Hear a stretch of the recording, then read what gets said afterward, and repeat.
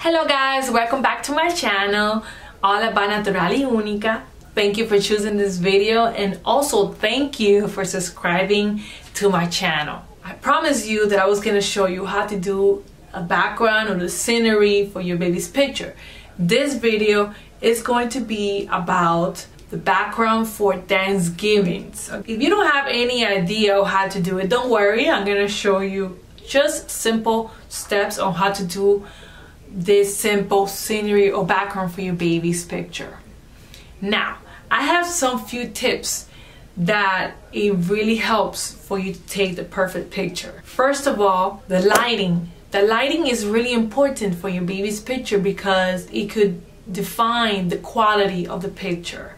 So make sure that if you have spotlights or if you don't have spotlights make sure that you have a in the daytime you have a good perfect window where you, where light coming into your house. Surface the surface is really important. A safe surface can definitely help you that the baby will be safe and will not fall. Make sure you have enough help the help is really important because that family member can definitely help you to make your baby giggle or it can help your baby move or it can help your baby to be safe also. If you don't have a camera, don't worry, you could use your phone or also you could use your tablet and they could definitely help with your beautiful pictures. If you're going to take pictures when your baby is sleeping,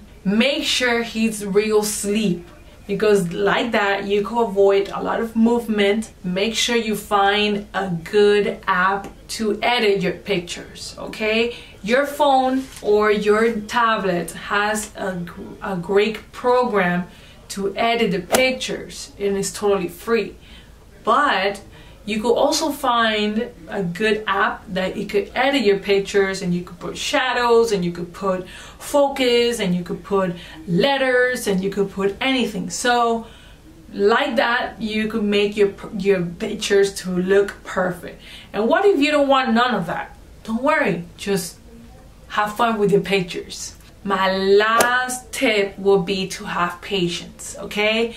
Doesn't matter if your picture doesn't look good. Doesn't matter if your picture is not professional. Don't worry. But at least you're gonna have fun and you're gonna create memory for your album. And when your baby grows up, he will definitely enjoy those pictures. So come with me for I could show you the background for the Thanksgiving. What you need is a blanket, basket, pumpkins, swaddle, leaves, pillow, and another type of blanket. So what I did was I organized everything first. I set up all the leaves, the pumpkins, and I decorated all around the basket with the leaves. I use an old sweater, but if you want to use a blanket, you could do so.